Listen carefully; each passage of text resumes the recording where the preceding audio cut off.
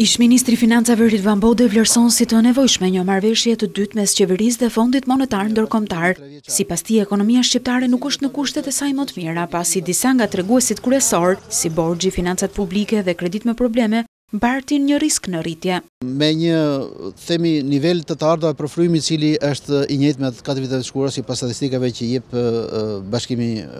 bashkimi Europian Divizioni i Financave dhe i Buxhetit. Dhe po shohim po një oreks shumë të madh të qeverisë për të kontraktuar shpenzime të kohëve të ardhshme përmes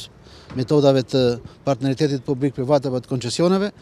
mendoj që përbën një risk permanent për ekonominë shqiptare. Prandaj, pyetjes suaj është i nevojshëm një bashkëpunim i mëtejshëm me fondin monetar,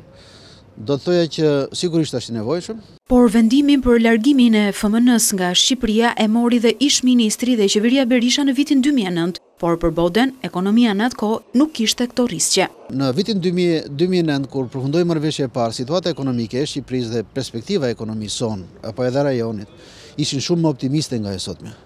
Kurse sot, konjunktura ekonomike, qoftë e Shqipërisë, qoftë rajonale, të papriturat e zhvillimit ekonomik dhe fakti që ne jemi sot me një borxh shumë të lartë, 7 mbi 70% dhe me një borxh në monedhë të huaj, çka do të thotë do të kemi nevojë për të dalë në tregje dhe tregjet kanë shumë pak besim tek ekonomia shqiptare pa një përkrahje pa një ndërmjetës si Banka Botërore apo Fondi Monetar, mendoj që e bëjnë më të domosdoshme sot, e bëjnë më emergjente sot një